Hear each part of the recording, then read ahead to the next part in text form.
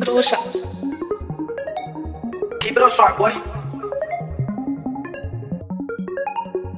What you cooking, G Sharp?